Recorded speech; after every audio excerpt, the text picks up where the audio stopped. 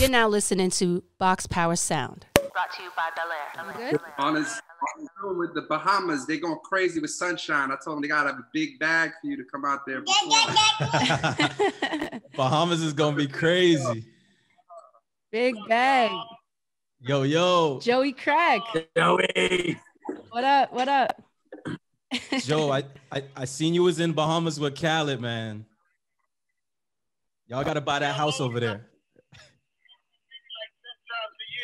Yeah, it's so crazy. He's an honorary Bahamian, to be honest. You're gonna get your passport there too. Hold on, I'm gonna mute my mic. That's on mute. Bahamas is always a good idea. For real, yeah, man. I, I s- I actually need to go myself. Um, all right, so let's get started. Uh, all right, welcome to Box Power Sound. This is episode 16. I'm your host, Get At Kat, and today we have a very special show. We got the iconic, legendary production duo, Cool and Dre. They're a Grammy nominated production and songwriting duo from North Miami, Florida. They have an extensive catalog of platinum hits and have worked with the likes of Lil Wayne, Fat Joe, DJ Khaled, Jay Z, Beyonce, Drake, 50 Cent, Jadakiss, Chris Brown, Remy Ma, and the list goes on and on and on. But I want to hear all the background stories and find out about their journey from Miami to the top of the Billboard charts. So without further ado, please welcome Cool and Dre to Box Power Sound, y'all. What up? What up? Hey. Yeah, man. What's poppin'? Happy New Year. Happy It's New good. Year. It's a pleasure to have Yes. you guys here, Yeah. man. I mean, Pleasure. The pleasure's all ours. are you in uh, Miami right now? You know it, man. You know this. That's the. That's the. That's the headquarters right there. It's the base. You know what I'm saying? Miami, Florida, where the weather is just amazing. You know. Uh, Yeah. so my boy Blue, uh, Triz. I was Oh, there you go. I was on Facetime with him the other day, and it was pitch black here, storming, snowing. He's like, "Sucks for you." He turns he turns his Facetime, just straight blue skies, man, and palm trees. And palm trees. Look, Oh We- we no, it was and, blizzard. and then and then the we- the weather. Yeah, no, it's crazy. Not but, but y'all y'all in Toronto, right? Mhm. Yeah, there's a blizzard here right now. Yo, that weather up there. I went I went out there one time and I was like, it's beautiful, Mhm. but I was like, yo, this cold is different. you know what I'm saying? It This really, cold out here is different. it really is, man. Yeah, nah. so nah, you, we, you guys we've haven't been here in the having- summer? Nah, I, I, I, I love it. I, the one time I went, I was like, yo, this city's like, it's beautiful. You know what I'm saying? So, um, but nah, we're looking forward, definitely looking forward to go back.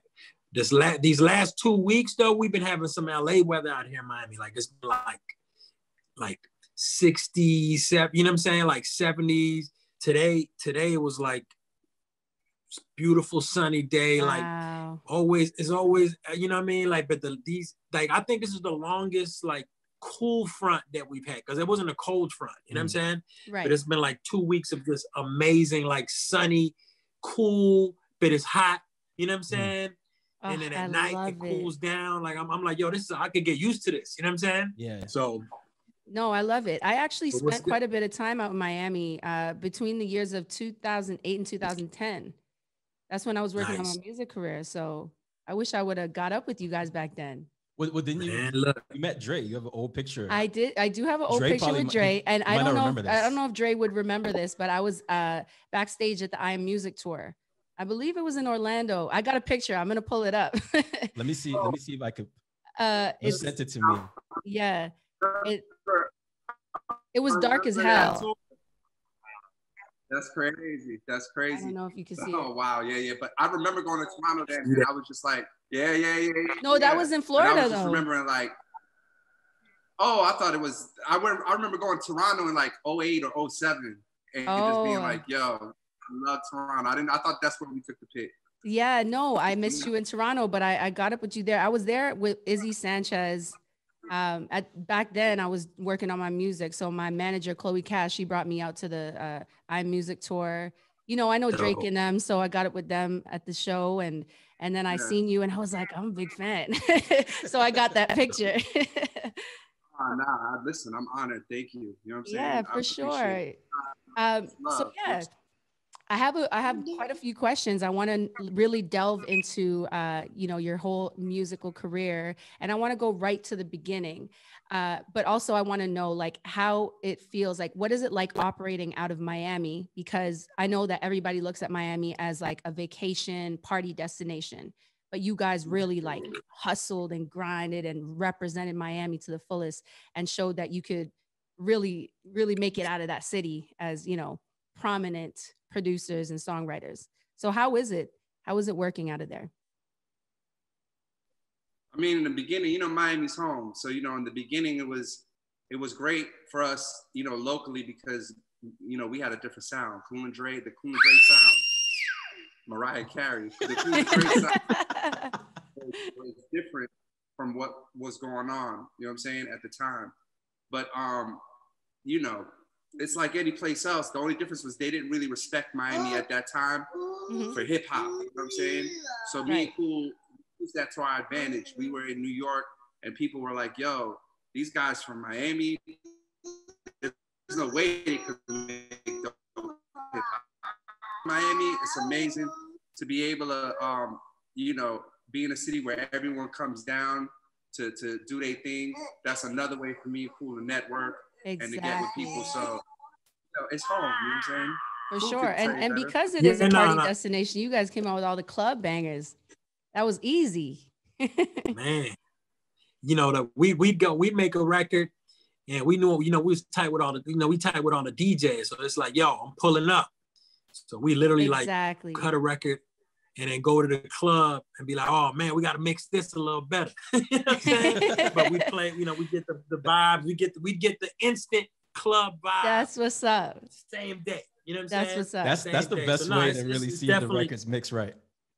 exactly. I always said, I was like, I was like, yo, I've always wanted to do, even though we got an amazing studio, you know what I'm saying, on the lake. I was like, yo, I always wanted to make like mm have like a warehouse, you know what I'm saying? And set up like a humongous like sound stage, like with I'm talking about yeah. some heavy duty sound system, you know what I'm saying? Like, mm-hmm. like, like some stone love, you know what I'm saying? Vibes and like literally being there making beats, you mm-hmm. know what I'm saying? And like testing out the music and recording, like having an experience where the artist we produce the record, they cut the record and they hear it like if they heard it like in, in a mm-hmm. concert setting, you know what I'm right. saying? Mm-hmm. And uh, so I'm, I'm, that might be something that that I might be looking into doing this year. Just Why not? I think it'll be dope. You know what I'm saying? Like a like a sound stage um, studio vibe. You know what I'm saying? No because it's no, no it's no way. better feeling. Absolutely. There's no better feeling than hearing the music the way it's supposed to come out. You know what exactly, I'm saying? Exactly, exactly. And I know a lot of producers they like to listen to the record in the car too. You yeah, got to hear it yeah. bump in the car as well. Mm-hmm. You uh, you guys familiar with Troy and Rami, Black Shadow? Yeah, yeah, for sure. So I worked with I worked with Troy for some time, and you know, working with him, we used to listen to record everywhere in the car. We used everywhere. to mix it in the DJ sets. That's how I learned to DJ, playing around with the mixer in the studio. Uh, we used to listen to it on the phone, all types yeah. of different speakers. You got but to. what you're talking about is like the final level. Yeah. like if, it, if it if it ain't working in that room, yeah. Nah, man go back to the drawing board. Go back to the drawing board. the crazy thing is that um, there's a there's um not to get too technical, but uh, Slate, uh, Steve Slate, he has this new um, plugin, right? So this plugin is actually really really dope. So it comes with a set of headphones, and then this plugin emulates different studios mm-hmm. across mm-hmm. the, you know what I'm saying? Different like dope studios like all over. And what they wow. did was they they went to these studios and they they they were able to to take a, a, a sonic photograph of how the room sounds. You know what I'm saying? So with these headphones, you can pick the room that you can be like in London. Be like, I know the studio in London. I love the way it sounds. Let me let me hear how my mix sounds in there. You know what I'm saying? So he was able to create these different studio sounds and these headphones. You know what I'm saying? And then he also has a thing where you can pick a sound system from a car. So it has like different cars, like BMW, mm. uh, Rolls Royce, wow. like uh, Toyota, like the right basic sound system, and you hear how it, if you were in that car. You know what I'm saying? Nice, So nice. where So is this? Where are these headphones? I actually seen. No, I saw a face it's- it's, uh, uh, IG ad today. Yeah, Yeah. Slate, Slate, um, Slate makes them, and it's basically when you buy the headphone, it comes with the plug-in, and then the That's plug-in lets you access all these, lets you access all these cars and all these studios. Question is is is crazy, record but I heard- I heard some amazing, I heard some amazing reviews about them. You know what I'm saying? So, which, so what was dope about that? You could do a mix in your crib and then put it into that plug-in and hear it in all these different studios. So is, without having is to book record all room these- on that list? Man, you know what? I gotta hit uh, Steve up. You know what I'm saying? Mhm. And send them. They would have to come and shoot our studio so that way they can get how our room sounds exactly. Yeah. But you can even choose the monitors that you're listening from. So if you Mm. want to pick like NS10s or their their overheads, and it's like supposed to emulate that room to a T. So Wow. that so that sounds Yeah, like it yeah, might be bigger than the next level vibe. than beats. right? Yeah, no, it's, Yeah, it's, no, It's I up haven't there. heard him yet. I have Yeah, so we're, we're gonna but we're gonna know, you touch know, we're gonna guy- touch base with you after you test them out, and then we'll talk Oh, yeah, about I'm it because because that sounds amazing. Um, Yeah, so no, yeah, and, and he's known he, he's known for good stuff, so I'm sure they're gonna be good. incredible, dope, dope. Um, so yeah, I wanna I wanna go right back to the beginning. I wanna know how did you guys meet? Cool and Oh, Man, We met we, in high we go ahead, Jay. Yeah, we met in high school. Um, Cool was uh, dating someone that was like one of my friends, one of my homies, and um, she uh, started dating Cool, and then got him to start coming to choir. Like, you know, uh, I was in a music program like heavy in, in school, and Cool was uh, like DJing, hustling, selling mixtapes. So she she got him to come to choir you know what I'm saying, and and and and take class. So that's how me and him met, and we got cool really quick, and you know we just shared the same vision, the love of Mhm. music. Um, we loved R&B, you know, we loved hip hop, and you know we um started a group with two other guys. One was Cool's friend, and the other one was one of my friends, and then we just got super tight, and um we was trying to make it. You know what I'm saying? On some Right. R&B shit, and we couldn't really get nobody to cook up beats for us, and we really didn't have the bread to go buy the beats. So me and Cool put some money together. You know what I'm saying? We borrowed some from here, put it on top of what we had, copped our first keyboard. You know what I'm saying? And just started cooking up. And over time, the beats started to sell themselves. You know what I'm saying? Nice. And um, you Wait, know, so you guys was were there was a interested in being artists first? Yeah, Yeah. We, we- that's that's you know, Mhm. we only started producing to make beats for the group we was in, and one Mhm. of our rapper homeboys that was like part of our clique. So that's why we started making music. We would we never really, as far as producing music, we never intended to be uh, producing for Everyone. Wow. stars. You know what I'm saying? Just for our own clique.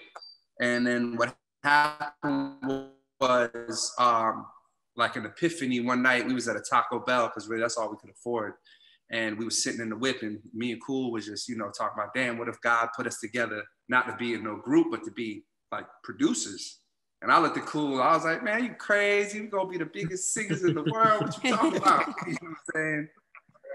And and that's what happened. You know what I'm saying? Uh, we started, you know, um, giving out beats for free in Miami. And then before you know, um, before you knew it, um, these guys that was super cool with these lo- this local rap group, their name was Piccolo. They came to us one day. We would give them beats all the time. They throw us a little money just for on the love, but you know they really wasn't buying beats. They was just showing love. Mm. And then one day, uh, my man Var, he came to us. He was like, "Yo, I got some niggas that's trying to buy some beats." So me and Cool was like charging. We didn't even know what to say. Yeah. So we told him a hundred dollars, put whatever you're gonna put on top of it. And he came back with the bag, and that shit was like a light bulb. Me and Cool was like, oh shit. You know, we was doing it out the love. Don't get Right. it twisted. We want to make money one day. But we was really doing it because we love the, the passion to, to, to make it in the music business. We don't really Mhm. focus on it. So once that happened, we was like, oh, we could we could really do this shit and, and make a living. We opened up a, a, a bank account and we still got the same bank account since we've been like 17, 18 years old. That's Yeah. amazing. It's been it's been nonstop. That's amazing. Yeah. That's very From inspiring. high school. And I love it because it just it happened naturally, right? Like you weren't just hungry for the money. It happened naturally and it happened how it was supposed to. So that's Yep. Amazing. I, I love that story. Um, so yeah, you you guys actually your first credit, like big credit, I believe, is from Fat Joe, the King of NY. So how did that come about? Because you guys coming from Yeah. the South, going all the way up to New York. Uh, how did that happen? I think our, our homeboy Robbie Rob, he was like close with Joe. You know what I'm saying? And he was like, uh, "Yo, Joe, hit me up. He's looking for different vibes, different. You know what I mean? He's looking Yeah. for some different beats." And I told him I had some guys in Miami. He was like, "So put a CD together for me." So back in them days, we used to put like 32 beats on a CD because they were snippets. You know what I'm saying? So we put like 32 beats on a CD, and um, uh, I'll never forget the story because Joe told us the story. He said he was in the studio with R. Kelly and he was waiting on the R and uh, he said, pop in that Robbie Rob CD. So he puts the CD in and we put like all kind of different vibes. Thankfully, Dre was like, yo, put like one or two sample vibes on there. You know what I'm saying? For, you know, some hip hop vibes on there. He was down, So, down. so Give him that. Like you know what I'm saying? So beat 28, 29, and then here comes beat number 30, and it's King of New York. You know what I'm saying? Comes on, and Joe's like, hold on, is that the same CD? And um, you know, long story short, Rob put puts us on the phone with Joe, and Joe was like, yo, I'm not gonna lie to y'all. First of all, I can't believe y'all from Miami made this beat. And two, it's probably my favorite beat of all time. Hey. Like, so he's like, he's like, he's like, in fact, I'm coming down to Miami. I want y'all in the studio when I record it. You know what I'm saying? Mhm. So me and Dre was hype. Was like, oh damn, blah blah blah. So you know, long story short, we ended up meeting Joe. Khaled walked in the studio, and Joe was like, Khaled was showing because you know we was doing underground radio. You know what I'm saying? And Khaled was on the underground radio circuit, and um, you know we ended up giving Khaled our slot and going to Atlanta trying to pursue our, our song, our singing careers. And, you know, so we was tight with Khaled, you know what I'm saying? And uh, so here comes, walks in Khaled and Joe's like, he sees Khaled show me and Dre love and Joe's like, you know these guys? Like, yo, these are my guys, cool. they on the radio, blah, blah, blah. And it was just like, Joe's you know, energy too, man. Yeah, Joe, Joe, Joe and like, yo, Khaled. Khaled, you Both Yeah. their yeah, energy. he's like, yo, Khaled, you fuck with Cool and Dre, so I fuck with Cool and Dre. We, you know what I'm saying? So from that from that session, we literally every time Joe would come in the city, we'd be with Joe. You know what I'm saying? Like he would be either it. in the studio or or we'd be in the club with him, and he always always had, you know what I'm saying? Like brought us into his family, Mhm. and it's been nonstop since. You know what I'm And for saying? you Literally. guys, did you guys look view him as like a legend out of New York too? Because he was there with Big Pun definitely. doing some major things, right? So Yeah, it was a look, huge, uh, Fat and like my pops, rest in peace. My pops put me on a Fat Joe as a kid. My pops was wow. listening to Jodeci. I was listening to a Jodeci CD, Yeah. and my pops was like, and he's Jamaican, so he was trying to have me listening to R and B shit like that. So he was like, you need to, why are you listening to that? You need to listen to some Fat Joe. You gotta flow, Joe. You gotta flow. He wants you in the streets. Yeah, which was which which was crazy. So, but we always had respect for Fat Joe. We always knew he was a Right. big artist. He- He's somebody we see on TV. He's somebody we see in the magazines. That's Fat Joe. Yeah. When we got into the studio with him, he pressed play on We Thuggin', a record with R. Kelly, and Yeah, it yeah. blew us away because that shit sounded like something Jay Z would do. Like you know what I'm saying? And and at that time, you know, Jay Z's the biggest star in the world. right. Fat Joe is still Fat Joe, but you know, we look at Jay Z like this guy played a record that was on the level. Like, you know, before we thought it, Fat Joe was straight underground, Yeah. hip hop, Mhm. hardcore. Big Pun made the radio records, but Joe was still digging in the crates. So when he played that song, we really got hyped because then we felt like, oh, we're we're about to be part of something special because Yeah. I got a song with R. Kelly. Like, you know what I'm saying? Yeah. So, you know, And it all was came just- full circle. Yeah, Yeah. because that Because that, R&B album- that side. album was- Yeah, that album was was ended up being Joe's first platinum solo album, Yeah. And then And- Buju Banton was on the record. and he put Buju Banton on King of New York, and it was the it opened the album up. We love opening the albums up because we set the Buju. tone. You know what I'm saying? Wow. For what's about to happen. I So- love it, man. So I, I, I'll never forget being in New York and, and listening to Funk Flex play that King of New York, bringing that, dropping bombs and bringing it back, back. It was like an amazing Yeah. vibe. You know what I'm saying? It saying? must have been yeah, so no, that was that was the foundation. Yeah. Speaking of Fat Joe being the first for them in terms of placement, Fat Joe was actually my first uh, major interview when I was on radio. Back when All the Way Up came up. I don't remember if you guys remember we we actually lined that up with Ted.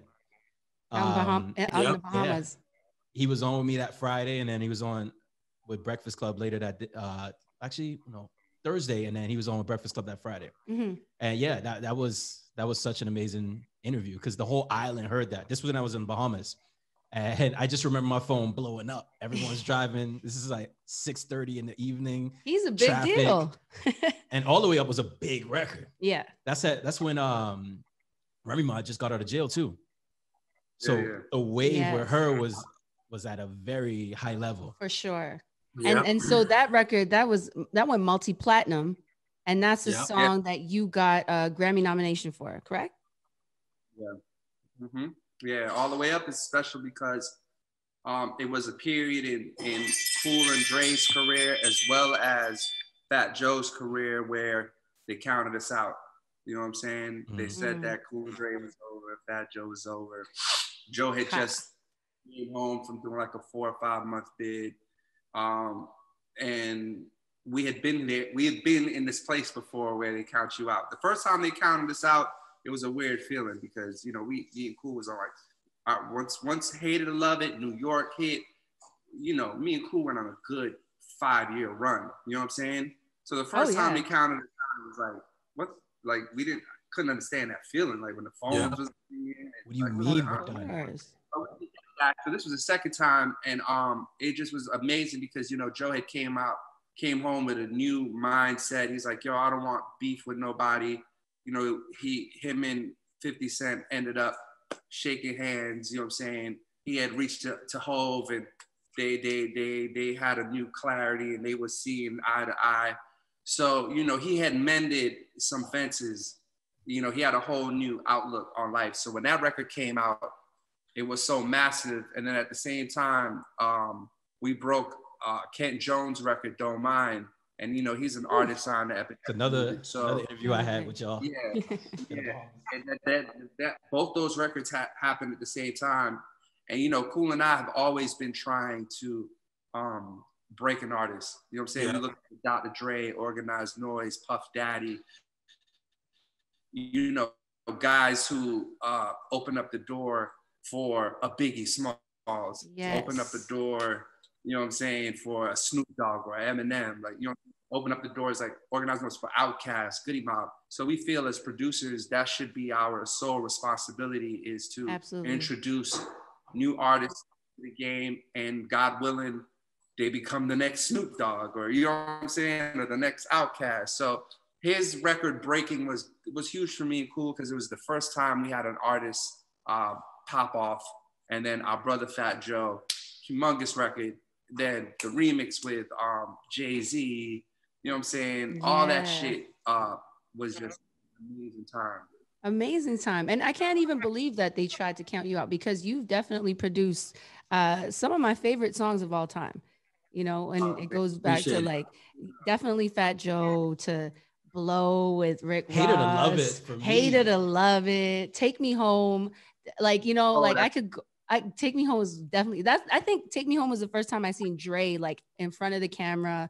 I Yeah. think for me, you know, um, but you were like you were in the video and singing and all that stuff. Listen, And that- Dre that was my said he wanted to be favorite the biggest R&B artist in the world.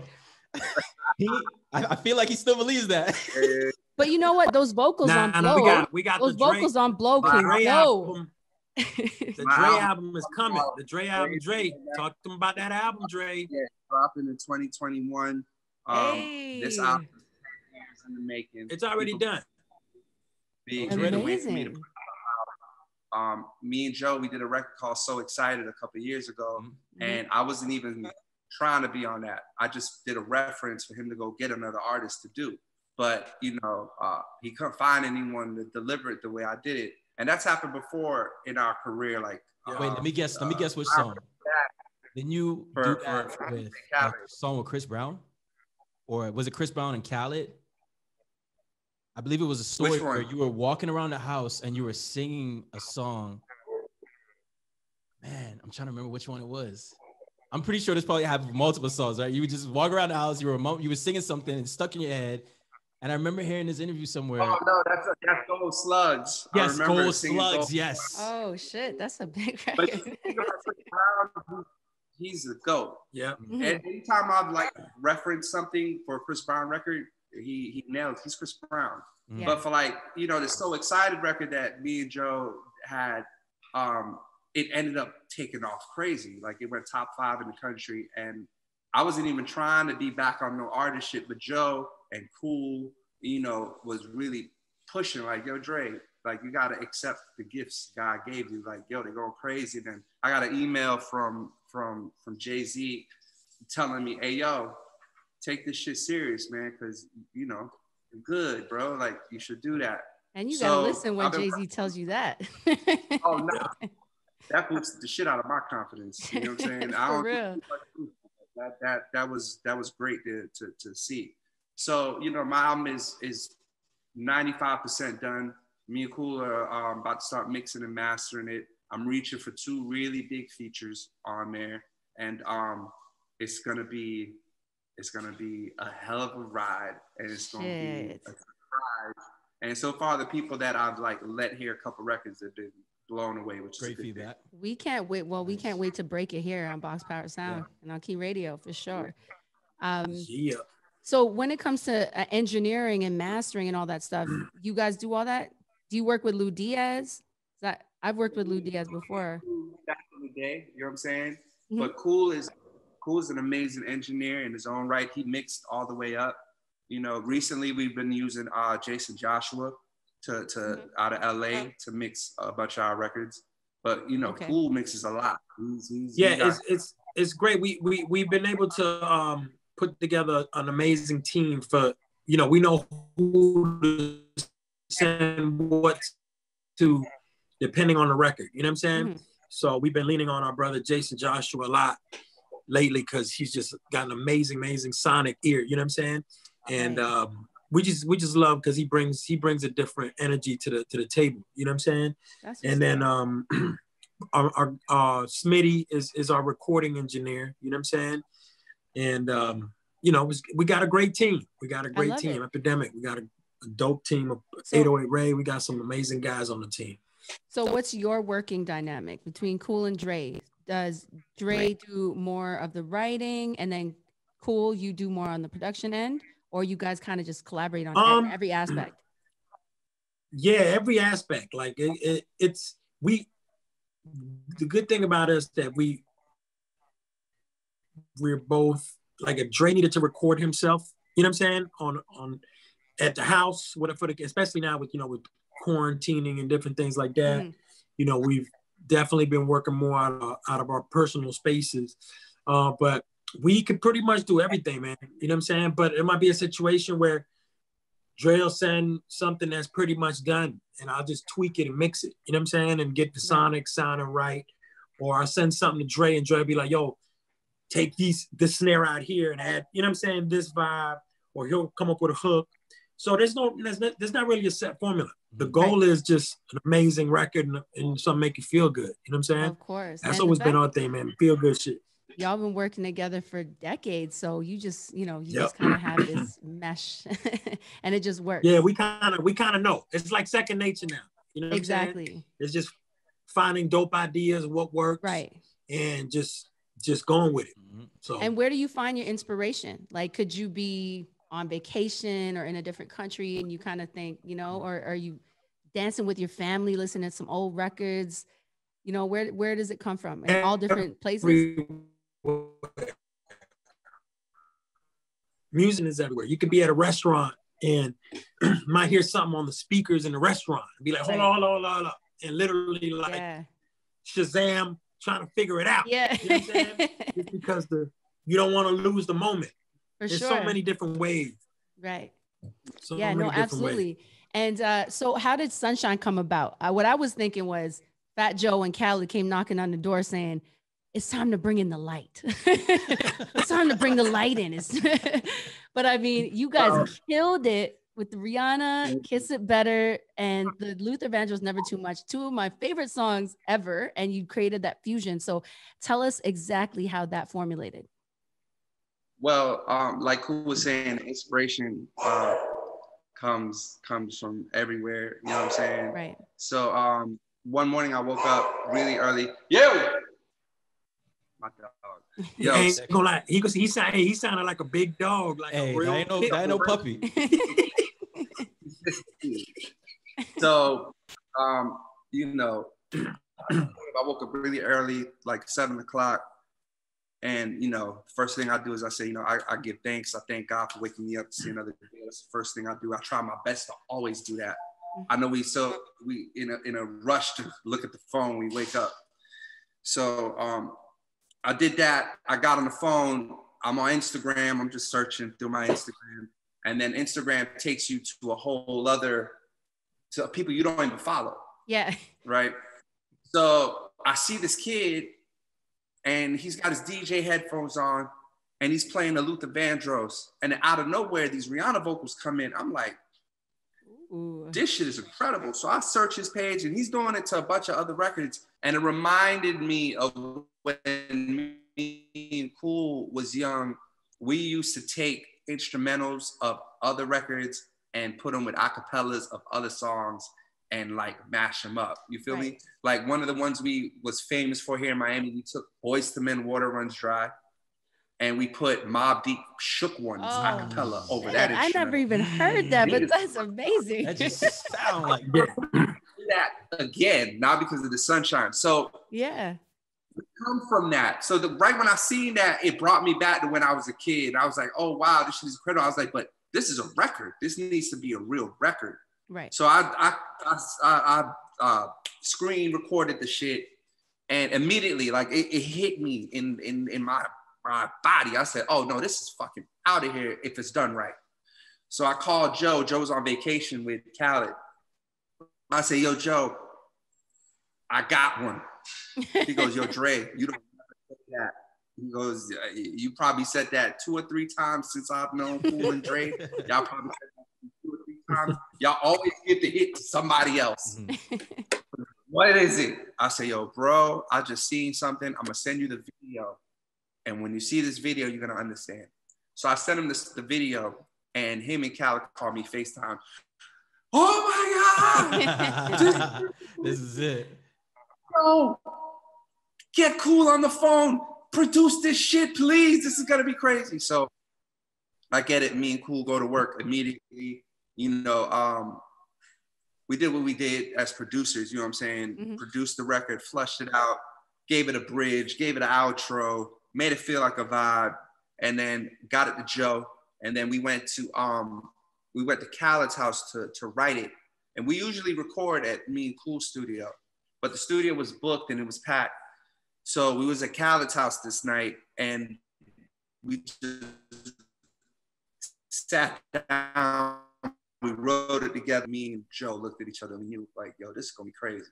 Yeah. And I can remember, and the thing about the hardest critic in the world is that guy, that blue and white sweater. I'll never forget. This guy don't believe nothing is a hit. No? What do you say? every time he say? calls it, it's a hit. Because he don't call nothing a hit, right? oh wow. So I sent him the video of the kid with the shit, and Cool said, "Oh no." the Cool was like, "Yo, this is gonna be a monster when we done with it." Yeah. after after we we we cut it, we got it mixed. You know, the first thing we did was we reached to the kid. His name was Amorphous. He's featured on there. We made sure we featured him on the record as well. right, right. You know what I'm saying? And um, let him know, like, yo, you inspired something amazing. And it feels good, man, because it's good to give young and upcoming talent that kind of spotlight. Absolutely. Yeah. Absolutely. because that rec- that record only was cleared because of Joe's relationships. Yep. Like Rihanna has never cleared her vocals in this manner ever, but she That's did it because she loves Joe. That's crazy, and that's Luther actually one of the questions I had for you too. How do, how were you able to clear Yeah, that? no, she don't do it. But she loves Joe, so she did it for Joe. Luther Amazing. Vandross, his they don't clear his records and his music anymore. But Luther Vandross's estate, they love Joe, so they cleared it for Joe. You know what I'm saying? That's what's up. So you know, everybody, everyone played a role Yeah. for this for this thing to happen, Mhm. and and and it's amazing and it's great. And then the name of the title, we were gonna call the record "Kiss It," but then we was like, "Yo, it's too close to the the Kiss It Better." right. And Joe was just like, "Yo, man, what's we got coming with another title?" I was like, "Fuck it, we've been talking this sunshine and this light yeah. for like the last couple months. Fuck it, it's and she called." says it. It's it's in the lyric too. Yeah, so, the um, sunshine. Mhm. I love know, it. And When I first heard it, I was blown away. I was like, yes, yes, yes. So Like, summer so- officially started when that dropped. Oh yeah, Yeah. Nah. Told you how me and Cool met Joe and Callie was there. So it's like, it's just amazing. Full circle. Full, full circle. circle. Full circle moment. And after all these years, you know, um, to be as close as we are and to still be relevant, you Mhm. know, um, my our brother Joe Crack been doing this from 1992. Mhm. You know, me and Cool, we we 20 years in the game. We've been doing it since 16, 17. So, you know, it just we always tell people, man, music is forever, music is timeless. You know Absolutely. what I'm saying? As long as you keep a sharp mind, as long as you stay focused, Right. and um, you can you can exist and create things. Cause like the kids that's like eight years old, this record Sunshine. You feel what I'm saying? And I feel like the world needs it right now. You know what Absolutely. I'm saying? We're in It- such a weird It came spot. at a very perfect time. Like it's such a Yeah. beautiful thing and very inspiring. So how about you guys introduce it right now? We're gonna play it for everybody to listen to. Introduce the record. But what up? It's your homie Cool. What up? What up? This is the DRE. This Cool and Dre. Y'all know what it is. It's the brand new single, Fat Joe featuring Amorphous, DJ Khaled, produced by none other than Cool and Dre. It's called Sunshine the Light. You're gonna be hearing this all year. So get, Let's get it. get used to it. Embrace the light. It's all about love. Let's go. Right here on Box Power Sound. Yeah. Cool and Dre. It's 2021.